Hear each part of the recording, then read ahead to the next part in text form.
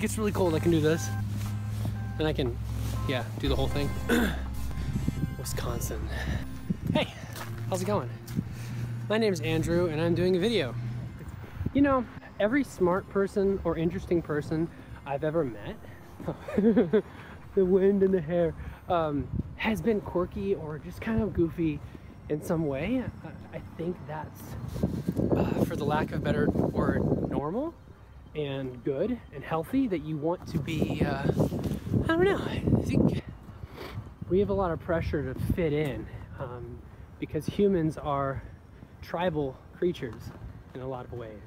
I mean, that's how we survived for a really long time. I guess I've kind of found my topic accidentally just now.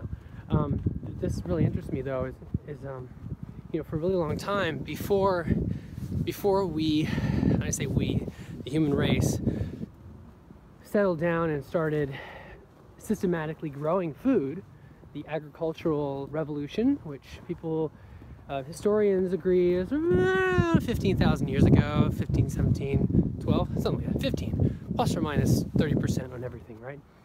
And, but before that, we had to wander around in tribes and um, in bands and uh, bands and, and, and finding food and hunting and gathering and and uh, it was, became very important uh, when we settled down and had land. Property became very important, and what was mine, what was yours, became important because you might be growing more food than I was, and so that's where the concept of property came from. That's a much bigger topic than we have time for today, but um, then then became this whole idea of in-group and out-group. And then you have tribes fighting over resources and fighting over land. So, so that is still in us, you know, even though we live very much in a global community now because of this magic that we call technology. It's not really magic, but it, it would have been considered magic any other generation. And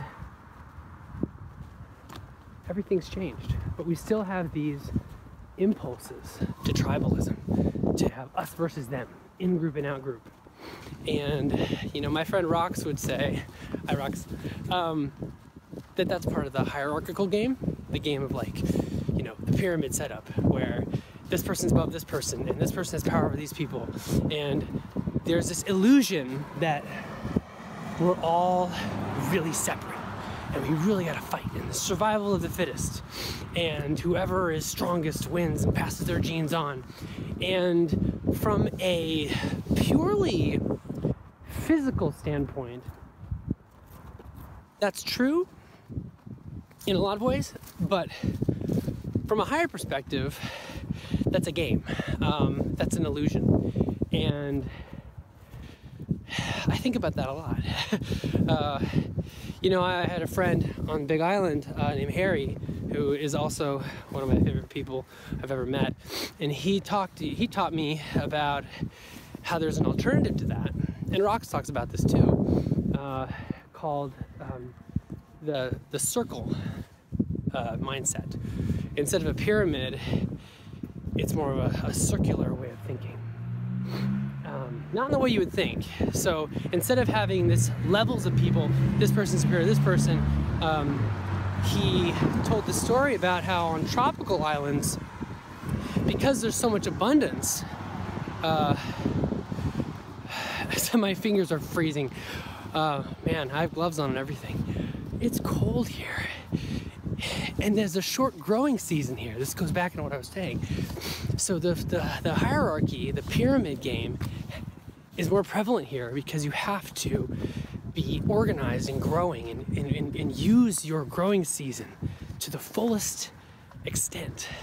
But in tropical places, you know, sometimes a bunch of coconuts will just wash up on shore. And that completely affects the society and the cultural structure.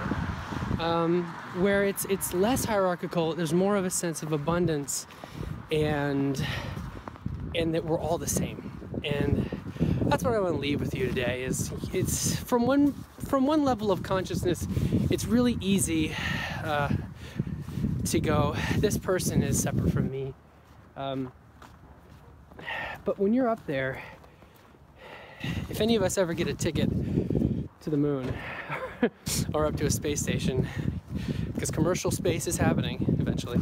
Um, but even if you don't, you know, when, when, when you're up there and you look down at the planet, you look at these photos, there's no borders, there's no states. It's one thing. We are one people. And the sooner we start acting like it, the sooner we can create the paradise and the abundance and the global happiness that that so many of us are imagining. It can happen, but we have to make a mindset shift.